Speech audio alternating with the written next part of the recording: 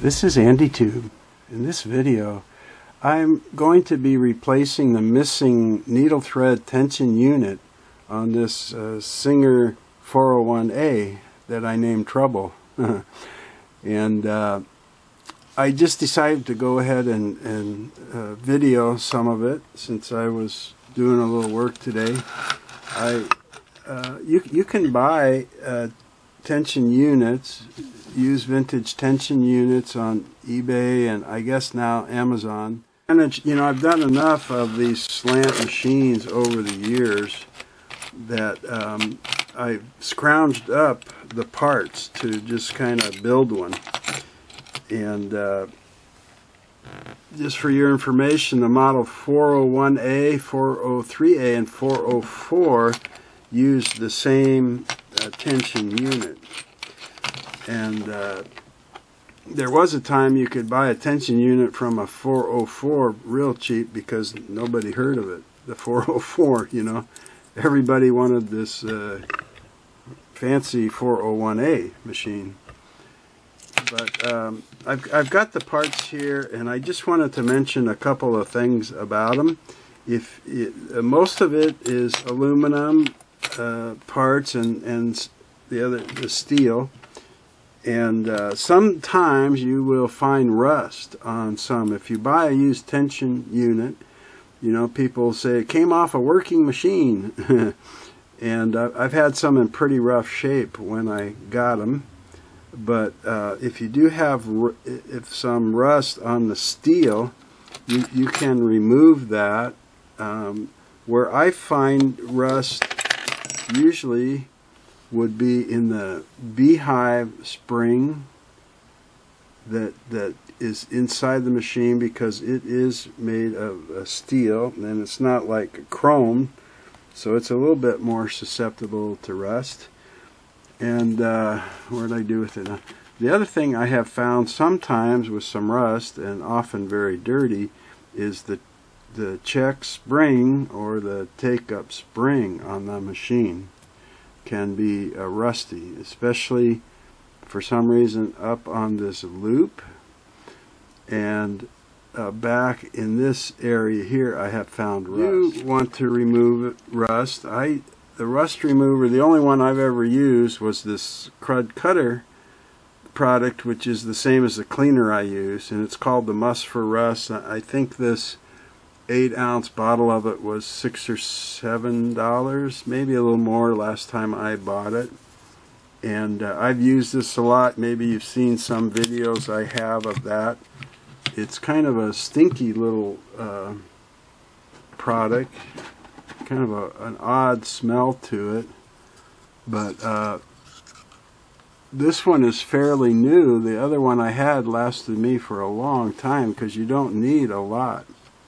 If you uh, just put a little bit on there, literally you can wipe it or brush it on and uh, just let it sit and it will just kind of eat the rust unless the thing is just a solid cone of rust, you know. And then you can just uh, rinse it off with water or alcohol if you want. But it's very effective. And uh, if you have rust on the on the uh, take-up spring, it's it's kind of the the same uh, way um, you know, a, a, cleaner like Krud Kutter is a cleaner degreaser, and it's going to get off a lot of muck and crud and grease and oil and stuff like that, but it absolutely doesn't do anything with uh, rust. It just it just won't take rust off of anything. Whoops, I got the little cotton piece stuck on the the little spring tail right there. So if if uh, if I do get some rust, I usually try and clean that off first, and uh, it's just it's just quick and it it works very very well. You know the thread guard had rust, and then the little tension disc had rust and stuff like that. And I'll just put them all like in the plastic cap of a detergent bottle and just put in enough of this product to cover it. Let it sit there five or ten minutes. Um, while I've got this rust-free tension uh, take-up spring I wanted to talk about a little bit because sometimes these have been bent and especially if people have like taken off the tension unit and, and not quite knowing what they're doing and and bent this thing up pretty good. And I'll, I'll go ahead and put this unit together on the machine real quick and I will zero it out and stuff set it set the tension to the factory thing but if you're interested in these tension units I have a six or seven part series all about tension. And uh, I've done other tension unit videos, but that all about tension is, you know, six or seven videos. It really gets into detail how it works and how to put it together and how to fix some of the parts and stuff. And I'll put a link to that at the ending screen of this video if you want to look at that playlist or series of, of videos. But I mention this because you can buy new. You can buy these new. Okay? And I have used them with pretty good success, the new ones, but I just want to say that they are a tiny bit different. They have a little bit bigger diameter a little bit bigger around. Um, on the factory one, you can kind of tell it's a factory one because with the with the loop down, that tail is going to be up here towards the top, like anywhere from uh, 11 to 1, usually right at 12 o'clock. And I'll explain why later. On the on these what I call aftermarket ones or non-original equipment manufacturer with with that loop down the tail's usually down here at five o'clock. So that's that's a way I look at it when I take it apart and and to see oh good this is the the original spring or it's a replacement okay? Now besides besides being a little bit bigger diameter um, the the length of the coil is maybe just one coil uh, you know one turn longer. It's just a tiny bit longer. But also what has bothered me a little bit is that this loop and the eyelet loop that goes around the tension stud are a little bit bigger. So the loop on the new one here is a bigger diameter than the original.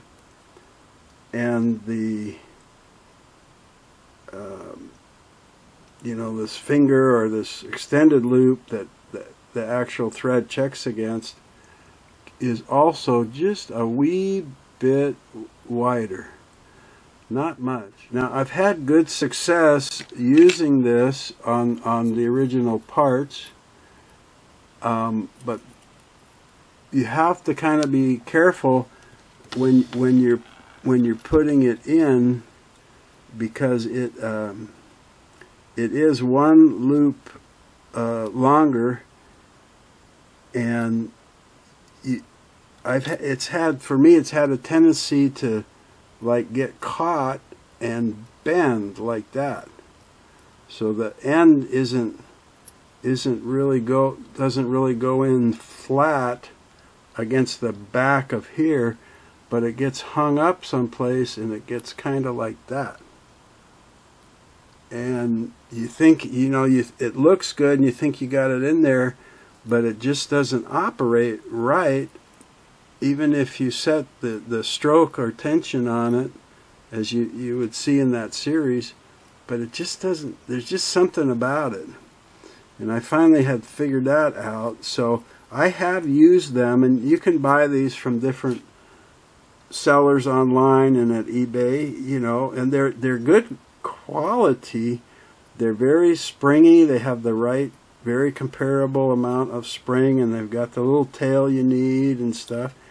They're just a tiny bit bigger, and if you have to get one, just be aware of those differences when you're putting it on the machine. That's what I wanted to point out. So, uh, like I said, I have I found all of the parts here and I'm going to put them in this uh, strainer. I get down here? Let's make this out a little bit. And I'm and I'm going to wash them. Just take them to the sink, and I'm going to spray them with a solution of about 25% a Krud Kutter to get all the old oil and and muck and grease and stuff off of them. And then I'm going to blow them dry with a blow dryer. See, that's got some some oil and dirt on it there. And, and get everything nice and clean and dry. Yeah, there's some crud on the back of that. But one thing that I do, where's that knurled knob? One thing I wanted to point out was this is the the knurled uh, knob that you know you you set the tension with stuff like that but it has a tiny tiny set screw in there to hold the the little chrome cap that goes over this to hold everything together so that that slips on right at the end and you you put this little tiny thing in here I, I I keep it separate. I don't wash that because I don't want to lose it. Look how tiny that little set screw is. Whew. Okay. So I usually put it in a magnetic dish or something. The other thing that I, I just kind of clean by hand on the bench because I don't want to lose it is the tension releasing pin that has the little flange on one end and it it goes inside the the tension stud. And uh, well I'll, I'll show you that when I put it together. But um, I've lost this before too while cleaning and blow drying. So I'll just uh, clean it you know like spray a little bit. Maybe I'll do that now. I'll just spray a little bit of this uh, or drip drip a little bit of cleaner on there. This is the Krud Kutter formula and I'll just uh, you know wipe it like that if there's oil and dirt and thing. Now if there's rust in here you can clean it with the rust remover too very easily. So um, I just wanted to point out keep those separate maybe is a good idea. So the rest of the parts, now I'm just going to take in the sink and I have a spray bottle with my mixture of Krud Kutter, 25%. So literally I spray them off. I'll examine them uh, in case I, I have some really thick oil on the back of these or something I might want to wipe with a sponge or a toothbrush or something. Rinse it with water and then blow it dry with the blow dryer. So that's what I'm going to do and then I'll come back and and just assemble this piece at a time on the machine real quick so you kind of get an idea. Okay, here's all my clean and dry parts. I do want to uh, mention if you use the Krud Kutter on these, that there's um, a paint on here, um, and it can dull, it can kind of like fade this paint off this aluminum piece. So if you use the Krud Kutter, just like spray it and rinse it. Um, you can also just wash it with hand, and you don't need to use Krud Kutter on this. I have just soaked these in, in rubbing alcohol for a while, and I've also just soaked them in a you know, like a bowl with some dish detergent. Um, just like Joy or, or whatever kind of grease cutting dish detergent like you wash dishes in the sink with. And uh, that has worked well. I usually just use the Krud Kutter because it's so it's quick. But uh, you don't have to use that. And then there's a couple of parts that I do put oil on after I've cleaned them to grease them. And one is the, the beehive uh, screw, or spring, sorry, beehive spring. And I'll just put a little oil and uh, just rub it on there to just give it a light coating of oil. I, I don't want to get oil on any part of this tension unit that contacts the thread, you know, because then it, it can't put tension. But just a, a light coating of oil on the uh, beehive spring. And this is the longest set screw on the machine that holds the tension stud in place. And uh, I'll go ahead and put a little oil on the thread and just just a drop we're talking very light uh, coating of oil and you can even wipe off the excess if you want. And then there is a screw that holds the thread guides in. And I'll put a little coating on that. And uh, then on the tension releasing pin I'll put just a light coating of oil after I have it cleaned up. Okay. And then uh, clean clean the oil off your fingers or gloves or whatever because you don't want to get any oil um, on the tension disc especially. so I learned that the hard way. so when I start with this, um,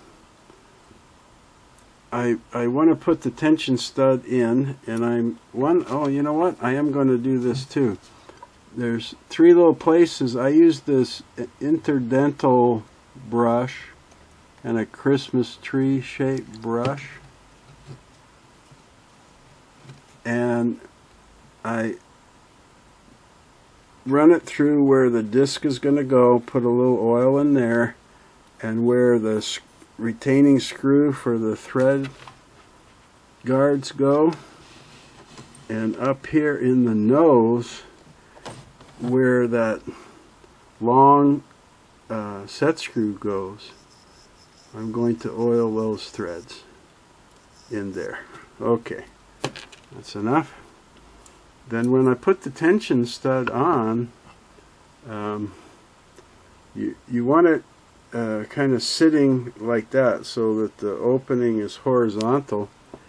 So if you, you put it in and you got to twist it and you, you must make sure it's all the way seated back there. You can hear it kind of hit the back there. Make sure you're all the way in. Okay? And then I'll get my set screw started uh, installing in there and that set screw just goes in at a 90 degree angle to the stud and you know tightens up against it and that's what keeps your stud in and it keeps the stud from turning so once I get about ready I'm just going to slip this indicator. Uh, this is the indicator and it's got the plus minus symbol and that's going to go on top. So I like to set that in there so that when I look at it I can use that plus minus to, to kind of make sure that I'm getting that uh, lined up so that this is horizontal. If you're off a tiny bit, it's not going to matter much, but I just want to try and get it in there as straight and level as I can. So I just slip that indicator on for a moment and then I'll come and tighten this uh, set screw up.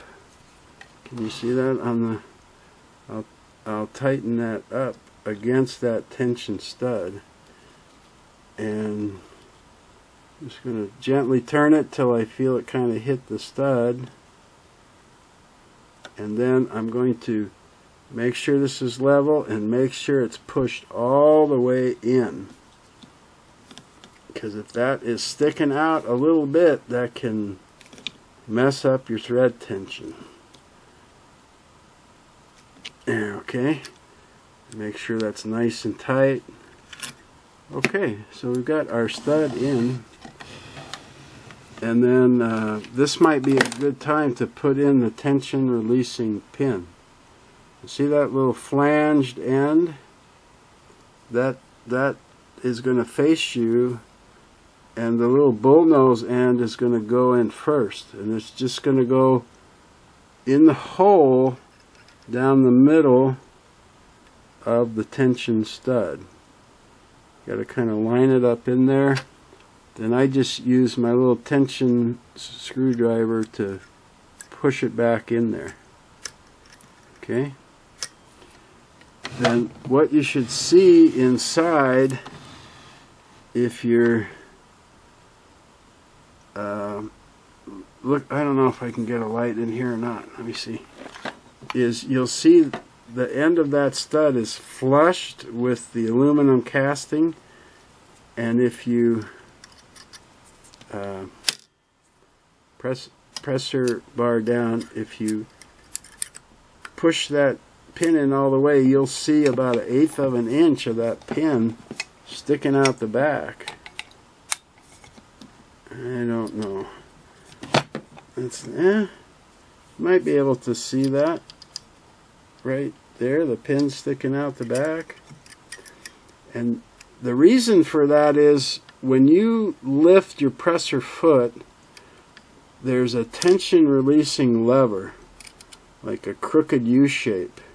And when you lift this end of it, it pushes this end of it, uh, of the tension releasing bracket, it pushes it against the end of that pin, and that pushes the pin out here and pushes the parts against the beehive and releases tension on the disc. So when you're threading the unit, or you're going to remove your work from under the needle and you lift this up, it takes tension off the needle thread so you can pull your work out. So that's why this is up when you thread the needle. So there's no tension here and you can run the thread between the discs. So to see if you've got this in all the way and your tension pin you can you can put your screwdriver in there and lift this and you should feel your screwdriver getting pushed away.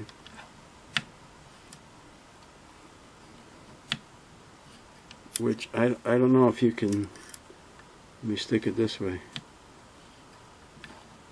Can you see that that that pin is pushing I can feel it I don't know how well it's showing up on here hard for me to see in the back of the camera. It only moves it again about that eighth of an inch or less, but you can you can tell that you've done it properly. Okay? Get this desk light out of there. So I've got I've got all that set to go unit on first. And this upper um, thread guide, the tall one, kind of tall vertically, is going to go on there first, like that. And then the, the smaller one that's more uh, horizontal is going to go on next so that this adjustment slot is on the outside. And uh, this uh, hole up here is going to line up with the finger hole of a thread guard that we're going to put on. And then this slot is going to line up down here for the mounting screw. And it's adjustable. And uh, what you want to do is start out with the screw in about the middle of that slot. So let me just get it in there for a second and get it uh, started and then we'll tighten it up and I'll show you what I mean about putting it in the middle let me get it most of the way in and uh, then we'll finish it up here. So here's that little rest or stop that the spring's going to sit on. And this has to be lined up hole to hole with the screw about in the middle or a little towards the right. And both of these fully on the opening ring there. They sit perfectly that stop should be kind of level horizontally okay and when you've when you've got them like that just go ahead and tighten the mounting screw to keep them there. There's an adjustment later called setting the stroke and that's in one of the videos of that tension unit series I was telling you about. Setting the stroke is how far the spring travels before it comes to rest on that stop because you want it to rest on that stop, the check spring, just as the eye of your needle is entering your fabric. So uh, you can loosen that and you can twist this a little to make the stop higher, shorter stroke, or make the stop lower for a longer stroke. Okay. And you'll see in that setting the stroke video how to do that. Just kind of get it a little bit to the right of center. That's about right. Okay. Now let's go back to this, uh, what was supposed to be a five piece um, parts together here. I forgot the uh, thread guard here that goes on. Okay, and this has got the little finger guide for your thread to go through. And it has this post that goes up and goes in the hole. And that's what keeps this from twisting. So that's why there's a hole in the thread guard and a hole in the machine. There's no threads or anything, but it's just going to slide on over those parts and go right in that hole. So you get this in the front and you get your three discs now. Okay, this little thread guard.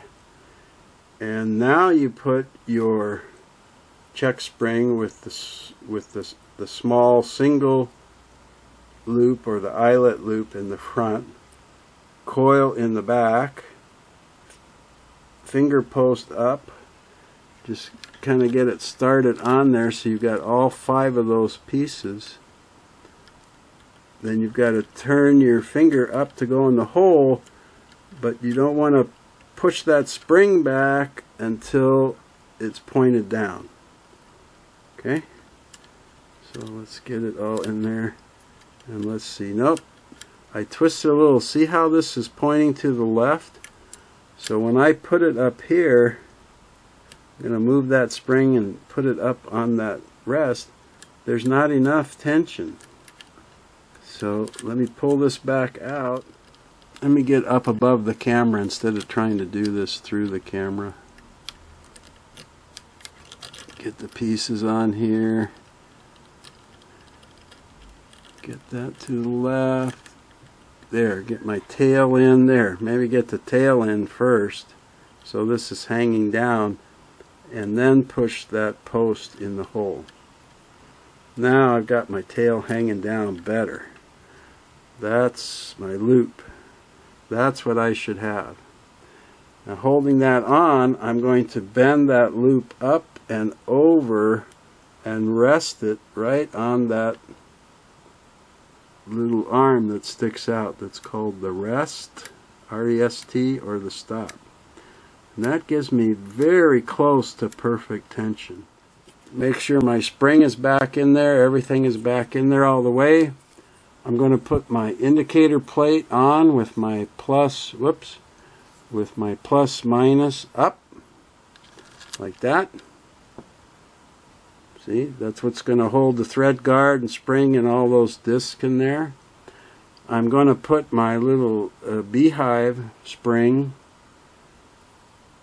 and you see how that front coil only goes halfway around and cuts across? That's so that that arm, that the part that cuts across can go into the slot. And I usually put the half coil on the bottom. Now that is made so the spring doesn't just twist around, see? So I've got the little spring tail in the back of the check spring in the gear to keep it from spinning. Now I put the beehive spring tail or cross arm into the slot to keep it from spinning. I'm going to put my stop washer.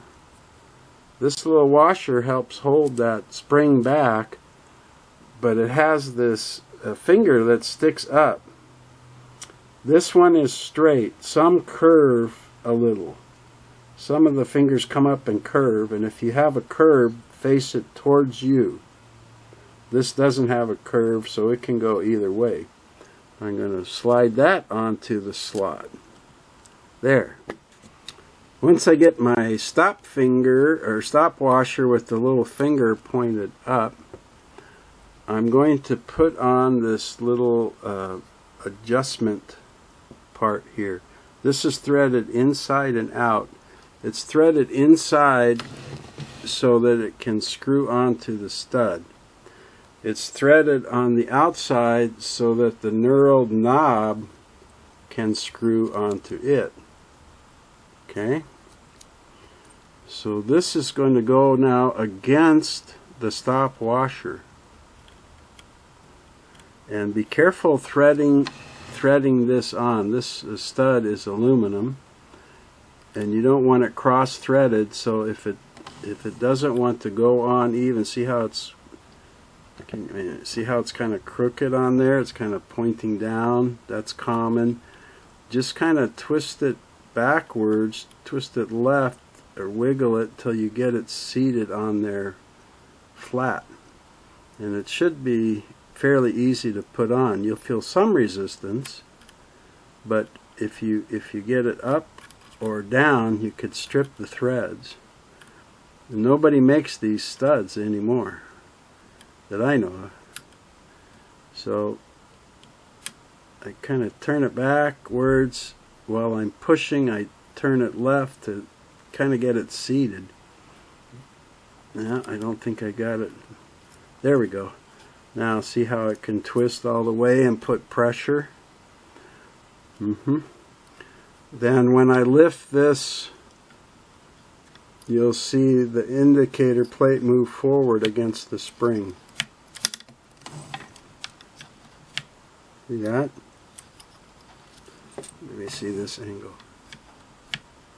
See that? That takes tension off the disc. When you drop the bar in the foot, it puts tension on the disc and therefore the thread. So we got to stop here and we got to zero this unit out now for tension. Okay. Okay, so I just I just set the arm cover up here and got a spool pin temporary in there. I'm going to put thread on here so that I can thread this unit. In the service manual, you'll see that they like to use mercerized cotton number 50. So I've found a few spool of these in sewing kits when I bought machines. So I go ahead and use it. But you got to remember these instructions are from the 1950s. So you can do use probably any thread you want. I'm going to go ahead and use the cotton 50 since I got it. And I'm going to come right up here through my top arm cover thread guide. And I'm going to come down here and I want to put the thread between the discs. Okay? So I'm going to lift my presser bar up, which removes the tension on those discs, and I'm going to slide the thread between two of the discs. Okay? Then I'm going to bring it up against the check spring. I'm going to hold the thread here so I can get tension on it and lift that thread up and over the little position finger. You hear a little click and then I'm going to bring it up like that. Okay? So that is the position point for uh, setting the, the zero out the tension. Now that I've got it through the discs and everything, I'm going to drop the presser bar. So now I've got tension. And what I want is when I'm set this up so when I turn it to zero I don't have any thread tension or just barely. Now see how much it's pulling this straight up and my thread isn't even moving through. It's so tight. So while I'm pulling gently up I'm going to start turning this to the left. Up, see how it just fell down? Now, you see when I'm I'm just going to keep pulling the thread up, but you see how that check spring is just barely starting to move, and then it lets the thread slide through. If I turn it to the right for more tension, that spring comes way up. Now if you have a tension meter, you want 5 to 15 grams of, of tension on that thread when it starts to move. If you don't have a tension meter, just put a little too much tension on and start turning left until it just barely starts lifting that up. See how just lifting that a little bit? Right. That's enough. That's zeroed out the tension. That should be very close. If you want a little more or a little less, go ahead. But that on zero, you want just to barely feel any drag or zero tension. And remember, that's with your pressure bar down and tension on the disc. Okay, before I put the rest of the parts on, I think I'll just go ahead and use my little tensometer and and uh, and check the grams on this, see how close I got. Again, the, the spec said 5 to 15 grams. And um, I bought this at the Featherweight shop, Featherweight store for $6.95. It's just a very simple one. You can find bobbin tension meters on uh, Amazon and probably eBay and stuff like that, but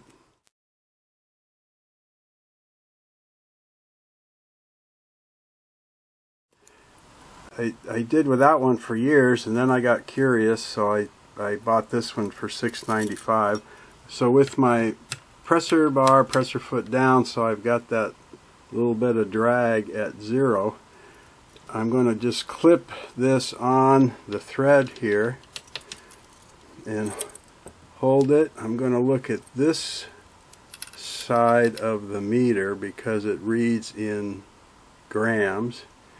And as I start pulling this up, it's going to move the the arrow. And it's pretty steady, staying right there. And that's at 10. Let me try that again here. Yeah, 10 or 11. Which is this uh, this line right there. So I'm, I'm pretty happy with that. I got in the 5 to 15 range. And that's why I said you could you could do you could tweak this a little bit more if you wanted. let me just do a little eat just a tiny tiny bit there um, now you know some some models of Singer have uh, more than this like I think the 221 is set for 25 grams of pull let's see how I did with this. Yeah that that put it right I sorry you can't see. That put it right at about 15 so I was at 10 11 I just changed it to 14 to 15 and I don't know if you notice what a tiny amount I turned that but I'm, I'm, I'm satisfied with that. I'm going to leave it there. Do now is put on this numerated dial. And uh, you know with behind the zero here there is a little protrusion or a nub that's built in called the uh, I'll just call it the stop nub.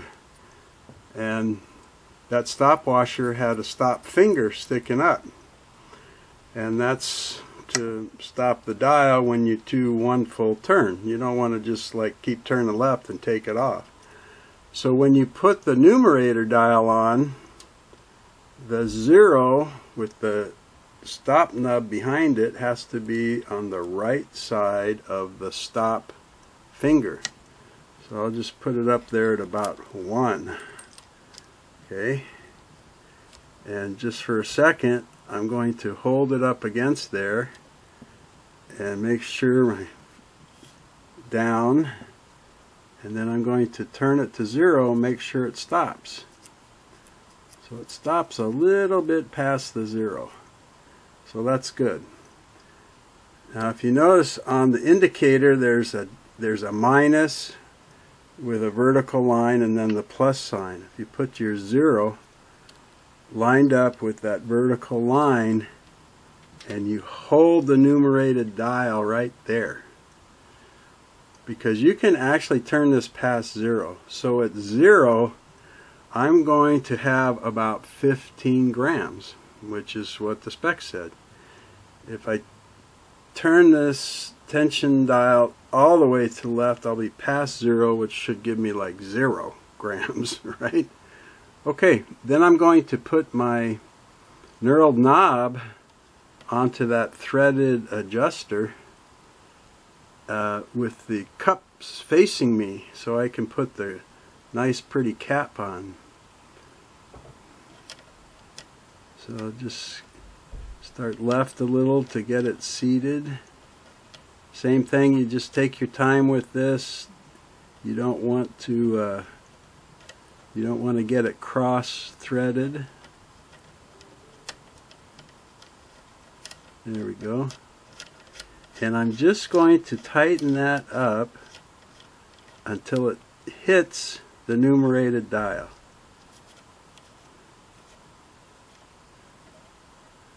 right? So I've got that zeroed out and now I've got the knurled knob up there against everything holding it at the zero out point.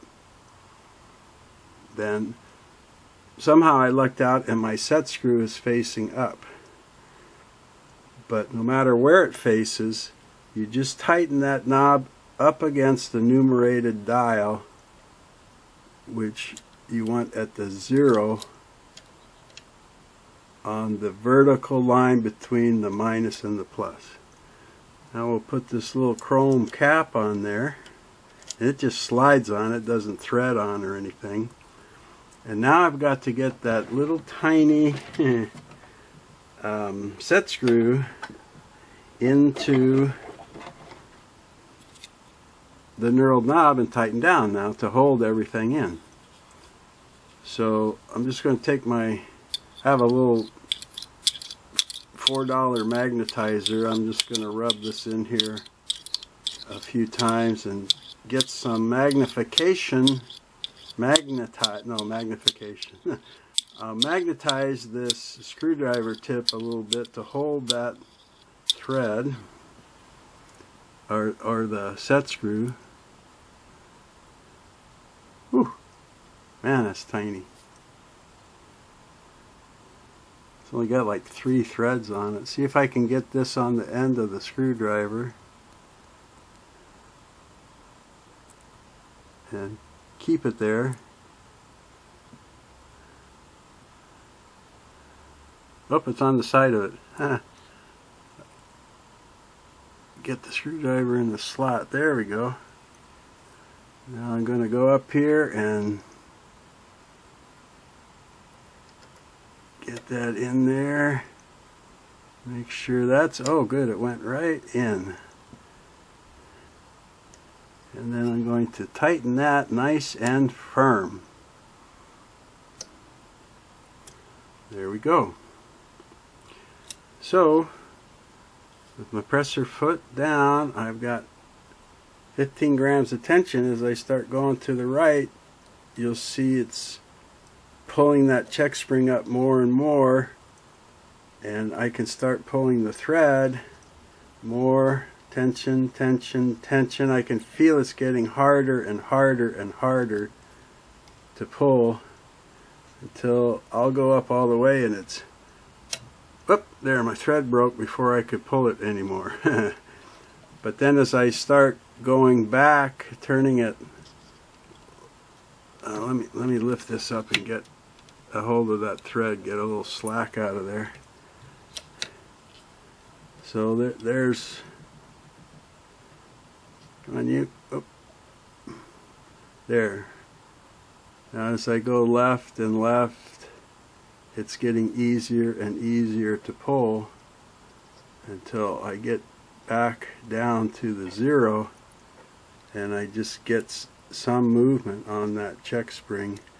If I go past the zero, as far as it'll go, it just barely moves that check spring. I'm really happy with that. I think I've got that zeroed out very, very well. Yay! So, let me, uh, gonna go ahead and throw away this piece of thread I used. I figure if I keep using the same piece of thread, it's just going to get flat. Alright, so one thing I want to show you here before I go is that uh, if you want to take the tension unit out, there's an adjustment called setting the tension of this where you can move the tail on the back end to a different slot. You don't have to take it all apart here okay? And I really encourage you to follow the link at the end of the video to that to that tension series all about tension if you have any other tension issues or if you just want to know more about the theory of tension and all these how these parts work and how to, to set up everything.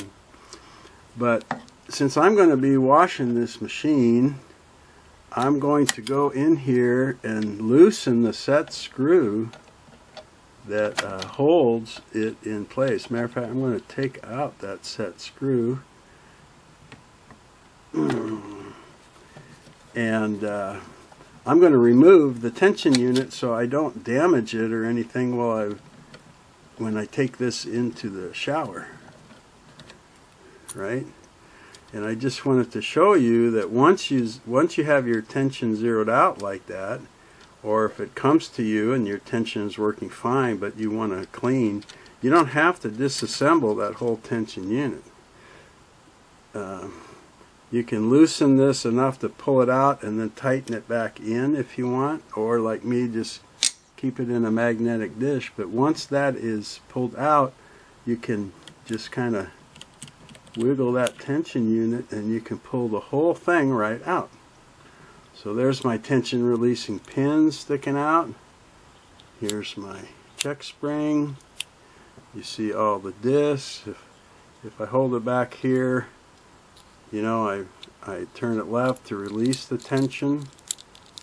I can turn it right to make increase it and there's my little tail. See that spring tail right there? Um, it's, be it's between these two gear teeth right here. So there is a procedure to pull that out this way and twist the spring and put it back in a different slot to left or right to have more or less tension on this. And that's in setting the stroke and tension is in one of those videos. So I'm just going to take this out and put it aside and keep it so that uh, after I get the machine all cleaned up and waxed and ready to go, one of the last things I, I can do is just put this right back in with the finger post in the, whoops, maybe I'll turn that finger post in the hole up there. And I'll just take my uh,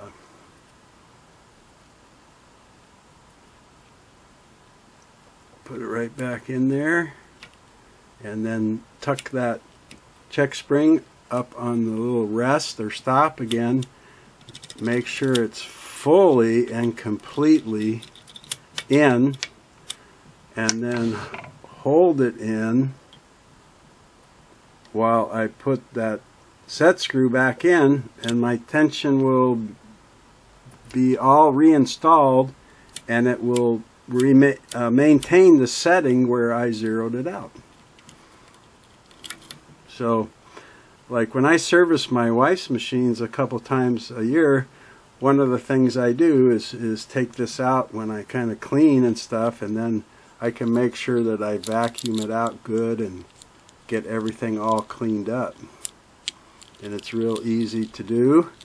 And then just put it back in and put the check spring on the rest and put the set screw in. Okay? So, in case you've never seen that, that might be of some interest to you. And if you've seen my other tension videos, so thanks for watching this one anyway and uh, I just thought I'd do it since I had to rebuild the tension unit on there and one last thing I wanted to show you was uh, if you remember uh, when I took out the broken screws and I found some screws from a 404 the, the bronze ones as a replacement and the, the ones that that were broken were, were the bright metal screws, the same size as the bronze screws for the 404. So I was going to use them. But look what somebody sent me in the mail. Brand, well not brand new, new to me, actual screws from either a 401 or a 403. The bright metal screws. And the friend asked to remain anonymous, but happened to catch the video and sent me a little padded envelope and said, uh, found these and thought you could use them. so thank you, you know who you are.